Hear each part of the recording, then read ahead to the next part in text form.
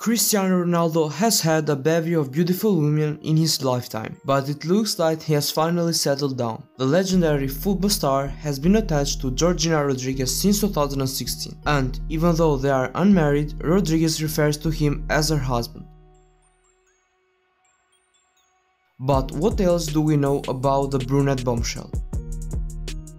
Before we start, make sure to subscribe and ring the bell to get notified about our latest videos.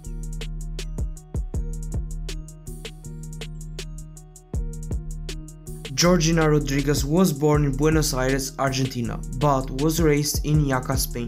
Her father, Jorge Rodriguez, was convicted of drug trafficking twice in the 2000s. Because of that reason, Rodriguez, in an interview with Air, ironically told that as a child she wanted to be a policewoman. Instead, she followed her wanderlust and moved to England in her early 20s. There she worked as an au pair in Bristol, and based on an old job post, she appeared to have a solid work ethic and big dreams.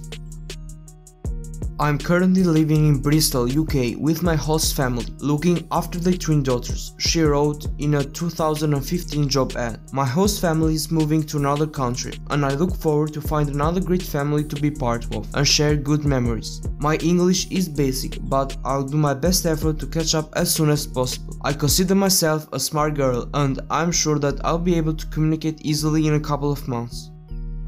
Those were Rodriguez's words in 2015, and she lucked out because months after she wrote the post, she began dating Ronaldo. Her status as the girlfriend of CR7 has certainly helped boost her profile. She currently boasts 24 million followers on Instagram and recently launched the sportswear line Org by G, which she conveniently models on social media. In a 2020 cover-up story for Italian magazine Grazia, Rodriguez revealed that she first met Ronaldo when she was working as a shop girl at Gucci in Madrid. Their attraction was mutual and immediate. His height, body and beauty caught my attention, she gushed. I was trembling in front of him, but a spark ignited. I'm very shy and perhaps this stirred me more in front of a person who, with a glance, had touched me deeply. In the early stages of their relationship, Ronaldo went to interesting lengths to protect their privacy. During a 2016 trip to Disneyland Paris, he donned a wig and sunglasses so the couple could enjoy themselves without interruption.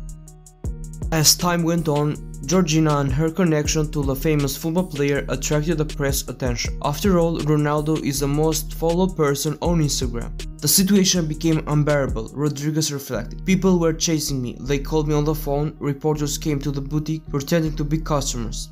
Little by little, I started working behind the counter to curb the aggressive curiosity of the press, she continued.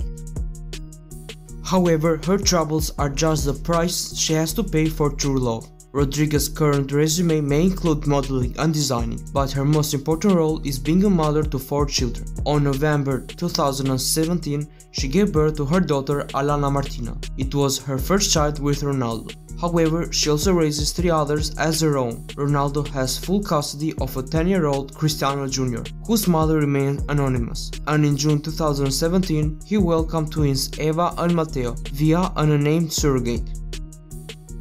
She concluded the interview with a caption, The children are our happiness. We wake up and the first thing we do is hug and kiss them. That's all for today's video. If you enjoyed, leave a like and consider to subscribe to support the channel. I'll see you next time.